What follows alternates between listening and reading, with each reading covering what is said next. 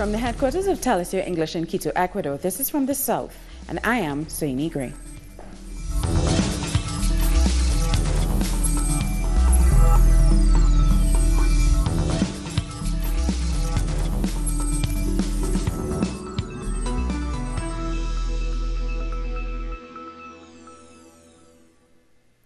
Julian Assange has been denied access to communications while inside the Ecuadorian embassy in London. Authorities say Assange, who was given asylum in 2012, did not comply with a request to refrain from sending messages that could be seen as interference in other states' matters. They said Assange's social media messages jeopardize the good relationship between Ecuador and Britain. And the Minister of Foreign Affairs and Human Mobility, Maria Fernanda Espinosa, announced the Foreign Ministry plans to hold a meeting in London with Assange's lawyers next week to explore additional sanctions against him. Espinosa says what's most important is that Ecuador maintains a dialogue with the United Kingdom to find a solution to the situation they inherited. And the former Prime Minister of Greece, Yanis Varoufakis, and musician Brian Eno have issued a joint statement in support of Assange. The post on Varoufakis' website expresses their concern that Assange has lost access to the internet and the right to receive visitors.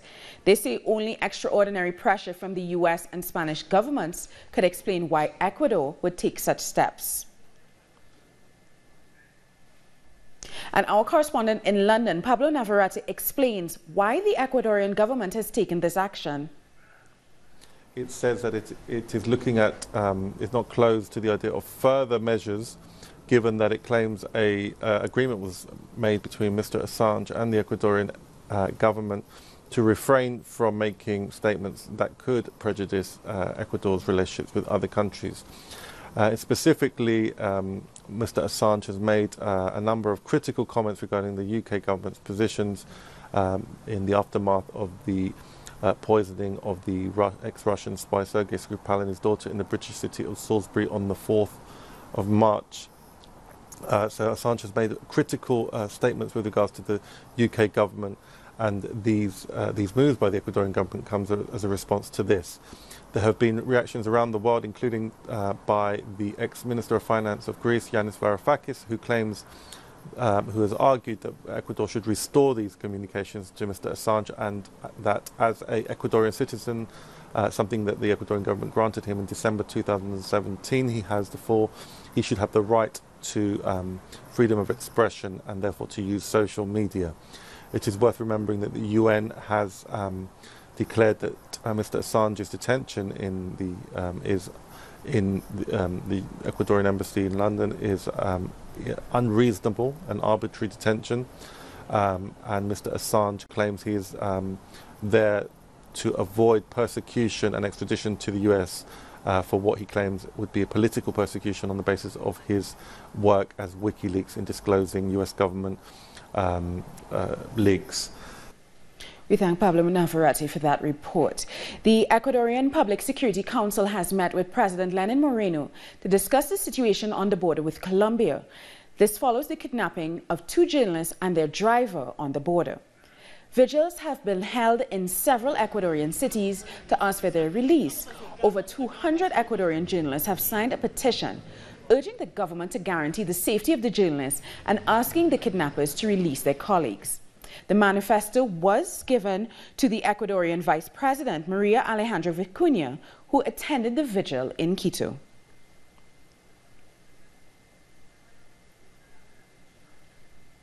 And in another violent incident in Ecuador, the head of the women's prison in the coastal city of Guayaquil has been murdered. 46-year-old Gavis Glenda Moreno was shot multiple times on Tuesday. The attack happened while she was traveling with her driver in a white pickup truck. Authorities say she was trailed by, by a motorcycle from the time she left the prison. According to local reports, at least eight shots were fired. Police say this was a targeted attack and they are investigating the case.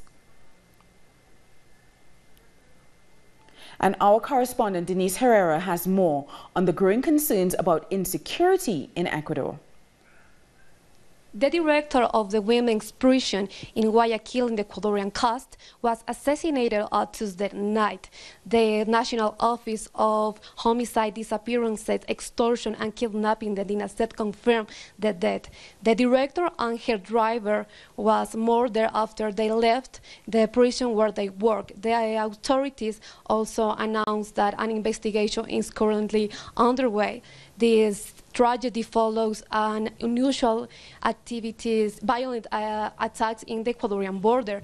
The, in a press conference, the Interior Minister Cesar Navas joined with the Defense Minister Patricio Zambrano, the police and the armed forces and the armed forces confirmed the kidnapping of two journalists and, and their driver working for the Comercio newspaper.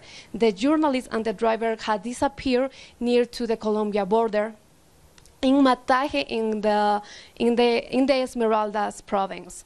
Uh, many author- uh, several authorities expressed messages to support as the Ecuadorian journalists who made a call to the, to the, to the support to the uh, mixed journalists and their family also gather outside the government palace. In the press conference, also the Interior Minister Cesar Navas announced uh, new security measures and have made a call to the Public Security Council of the of the country, which is the highest uh, secu uh, public security council in the country, and which is formed with the highest authorities in Ecuador. They will gather at midnight in the government palace. So it's all for now. We, we will keep you posted with more information as soon as we can. Back to you at the studio. Thanks for that, Denise Herrera. During the last day of hearings at the International Court of Justice in The Hague, Chilean President Sebastian Pinera insisted his country will not negotiate sea access with Bolivia. Chile defended the validity of the 1904 treaty in which Bolivia accepted the loss of 400 kilometers of coastline. The International Court of Justice will now deliberate, but its verdict may only come at the end of this year. Bolivia wants Chile to cede almost every human right. And our correspondent in Bolivia, Freddy Morales, has more details. The Bolivian government considers that Chile has not undermined any of their arguments presented to the Court of The Hague. President Evo Morales said that Chile failed to mention the core of the problem, which is the invasion of 1879 and the 120 square kilometers that gave sea access to Bolivia. He pointed out Chile's insistence on talking about the agreement of 1904, which Bolivia does not accept. The Chilean authorities say that they are good neighbors to Bolivia President Morales pointed out some facts. The commitment of free port access to Bolivian cargo is not being fulfilled because Chile privatized the port's administration. Between 2010 and 2015, in Chile, there were 141 strike days in the ports, causing losses for Bolivia of $1 million every day. And between 2015 and 2016, there were another 42 strike days at Chile's customs. Since last year, Bolivian diplomats have been denied Chilean visas. Bolivia and Chile must now wait for a decision, and this could happen by the end of this year. The Russian Cryptocurrency and Blockchain Association recognized Venezuela and President Nicolas Maduro as pioneers in creating and implementing the Petro, the first commodity secured cryptocurrency. The award was received by the Venezuelan ambassador to Moscow, Carlos Ferrer. President Maduro was recognized as the first president who dared to implement the first national digital currency and for backing the new currency by the country's oil and gold reserves. Well, time now for a short break, but join us again after a look at what our multimedia colleagues are reporting.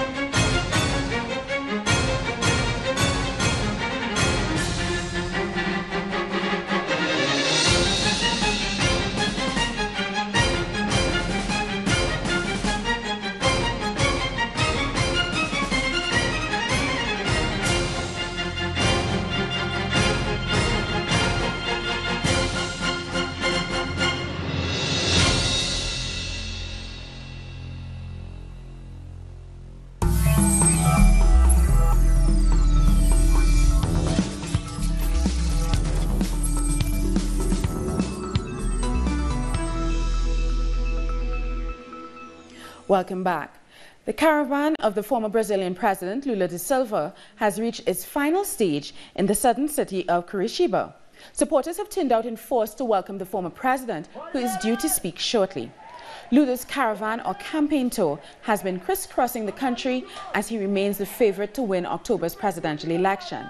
But it also comes as Brazilian courts are about to decide whether to send him to prison for alleged corruption, which could prevent him from standing. Now, this follows last night's attack on the campaign caravan. Three shots were fired at the buses in the convoy, although no one was injured. The attack occurred when the buses were traveling between towns in the south of the country. Party leader Gleisi Hoffmann said two shots hit a bus carrying reporters following Lula's presidential campaign tour, and a third shot hit another vehicle. But the bus carrying Lula was the only one that was not hit. People are scared, and with good reason. We think this is something unheard of. We never expected this level of violence. The violence against the caravan has increased. We have alerted authorities. Our correspondent Andrew Vieira has been with the caravan and he sent this report. The Lula for Brazil caravan has come to an end one day after the troublesome events of Tuesday mainly an assassination attempt against former President Lula and those joining him in his caravan. Today's event is a celebration of democracy and a denunciation of the growth of fascism in Brazil. For this, Lula will be joined by left-wing candidates and social movements for a multi-party event against the far right in particular against the far-right candidate who today, after the failed assassination attempt against Lula, arrived at an airport to incite violence against the populist candidate at one point holding up the head of a dummy made to resemble Lula. In spite of these attacks, what this caravan has left us with is that Lula was able to speak directly to the people. He's been greeted by thousands of people at every stop. Once again, he's shown he's the main political leader in Brazil and one of the most important leaders across the world. Today's event will reinforce the strength of the Brazilian left and continue the conversation regarding Latin American integration. And Venezuela has condemned the violence directed at the former Brazilian president Lula's caravan, and particularly the armed attacks carried out by militias on two vehicles belonging to the caravan during its travels through the state of Parana. In a communique, the Venezuelan government declared itself in solidarity with the former president and members of the Workers' Party in their fight for democracy, saying the assailants have clear intentions and seek to impede Lula from his legitimate right to run as a candidate in this year's presidential elections. Chilean President Sebastian Pinera is using anti-terrorism law to target Mapuche indigenous activists who are demanding their land back. Pinera approved a reform in the law which will allow police to use force and to detain the demonstrators. For decades, Mapuche activists have been demanding the return of their land in Biobío and Araucania, which was sold to businesses. They have also complained that the region is becoming increasingly militarized. And activists from Chilean pro-choice movements have marched outside the Ministry of Health in Santiago against changes to the abortion laws. Protesters launched insults at the current right-wing government of Sebastian Pinera, accusing them of restricting reproductive rights for women. The Ministry of Health recently published new guidelines giving health professionals and institutions greater powers to object to abortions for reasons of conscience. Haitian President Jovenel Moise has sworn in members of the High Military Command, that's the newly reconstituted National Army.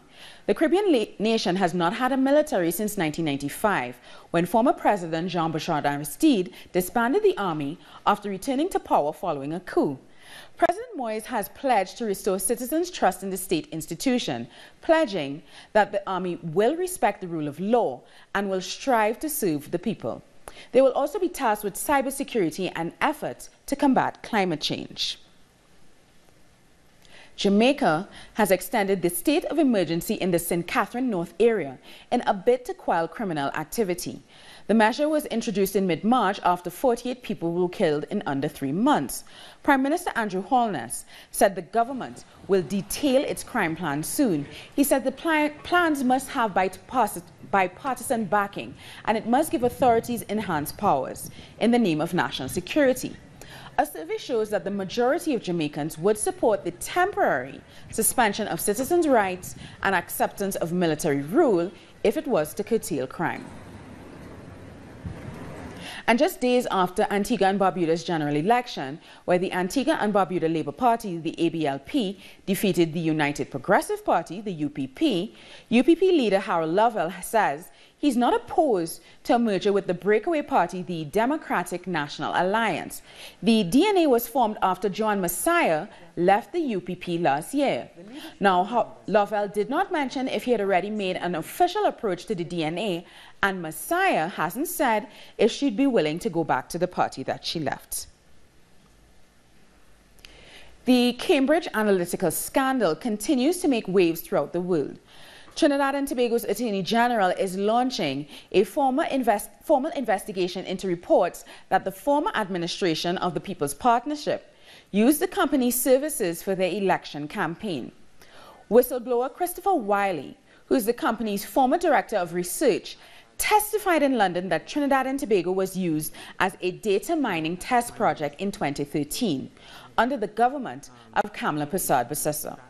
Wylie has said that the data acquisition in Trinidad and Tobago is and was illegal and that there was total disregard for the law.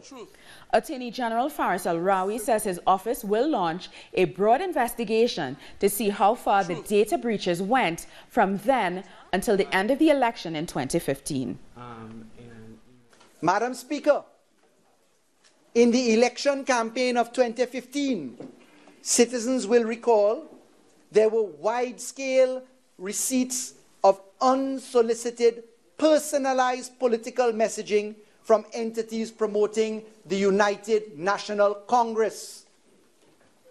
It is therefore incumbent upon the Office of the Attorney General, in discharging duties under the Constitution of Trinidad and Tobago, to cause an audit of all government ministries, statutory authorities, state enterprises, and the National Security Council to ascertain whether any contracts were established, whether any payments were made, and whether any services were rendered by the named companies Cambridge Analytica, Aggregate IQ, and the Strategic Communication Laboratories Group, and or any of their affiliate, alter ego companies or entities. In Haiti, hundreds have marched in the streets of Port-au-Prince to demand the authorities to do more to find a journalist who's been missing for almost two weeks. Vladjimir Legagneur disappeared on March 14th while on assignment in Grand Ravine, a gang-ridden neighborhood of the capital. His wife, Florette Guerrerias, says she has done everything possible to find him, but that the authorities have done little to help. She filed a missing persons report with Haiti's investigative police on March 16th and said she's never heard back. We communicated with the authorities. It's them who are responsible for carrying out the investigations. How is it that there are no elements or clues if they are responsible for the security of the population? A congressman in Peru was slapped in the face during a television interview outside of the Peruvian presidential palace. Guido Lombardi of the Popular Christian Party, who heads the Committee on Economics, Banking and Finance, was asked how much money he has, to which the congressman replied, a lot, before getting slapped in the face by the unidentified woman. In a tweet, the congressman responded to the media clamor saying that he would not be taking legal action, calling the person who slapped him disturbed. We're going to take a short break now, but join us again after a look at what our multimedia colleagues are reporting.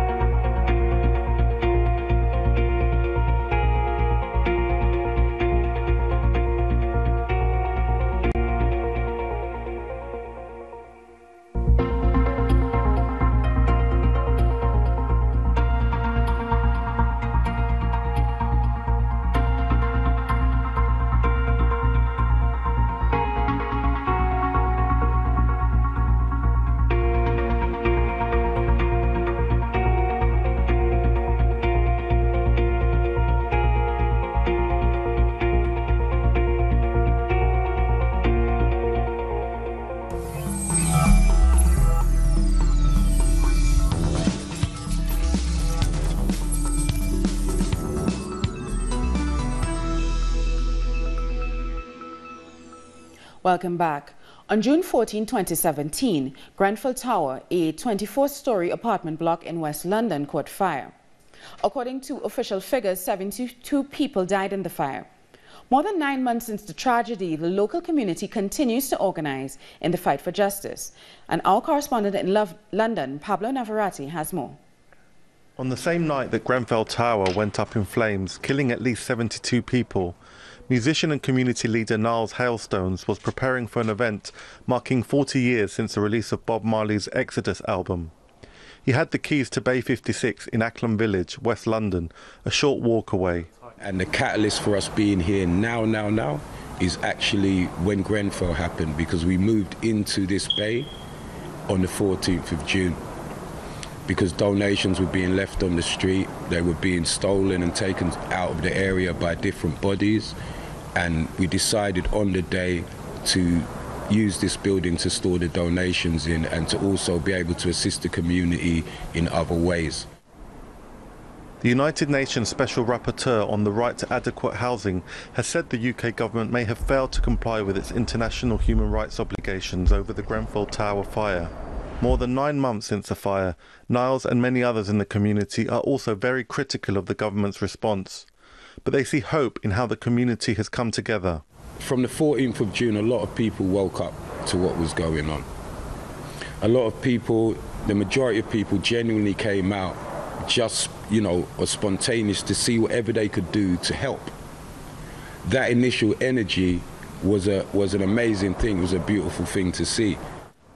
The coming together of the local community in the face of such a brutal tragedy has also encouraged relatives of some of the people who died to demand change. Well, I just ask for people to treat people like human beings and have some compassion and empathy so that this just cover up job and make excuses. I think policies, social policies, need to be reviewed. There is widespread frustration and anger amongst the local community towards the British government and local authorities for the way in which they have responded to what people feel was an entirely preventable tragedy. There's a phrase that I think encapsulates what, Gren- what led to Grenfell, and it's callous indifference. Callous indifference is the way, way that neoliberalism unpeoples individuals uh, and renders them uh, a statistic on a spreadsheet at best, and something that can be moved, displaced, decanted, moved out of their place of residency. The communities that live in the shadow of Grenfell Tower have shown a commitment to organise and demand answers in the face of a seeming indifference by the UK government and local authorities.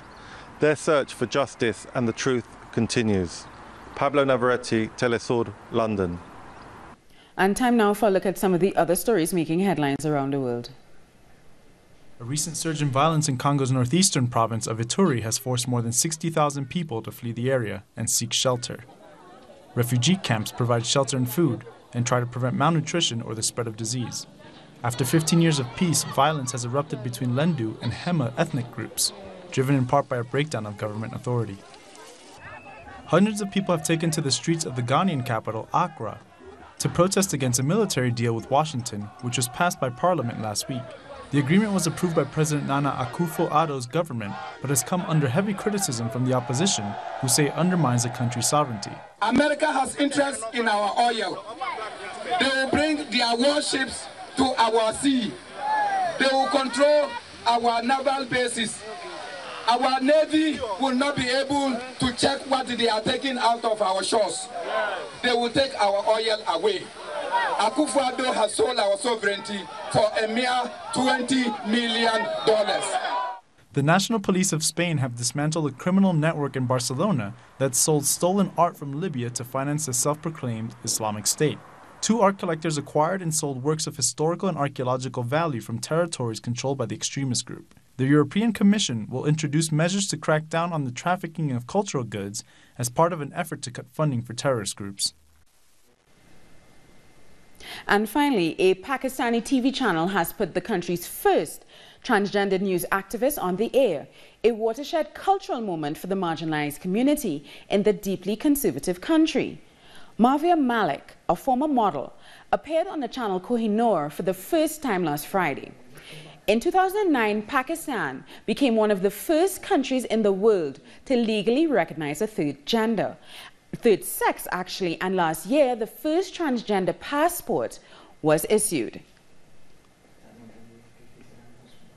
Well, that story brings us the, the end of this news brief, but for these and many other stories, you can find them on our website at telesurtv.net forward slash English.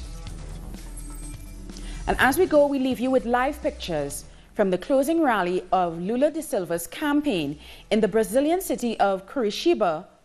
So, for Telesur English, I'm Sonia Gray. Thank you so much for watching.